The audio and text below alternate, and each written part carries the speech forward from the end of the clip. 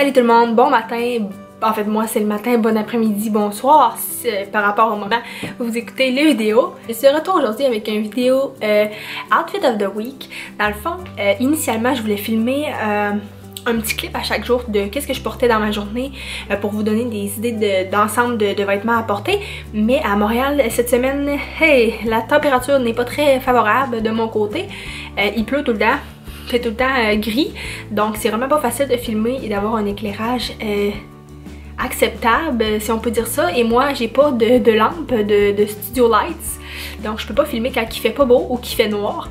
Donc euh, comme c'est ça, je peux pas filmer à chaque jour, sinon la qualité aurait été dégueulasse je m'excuse.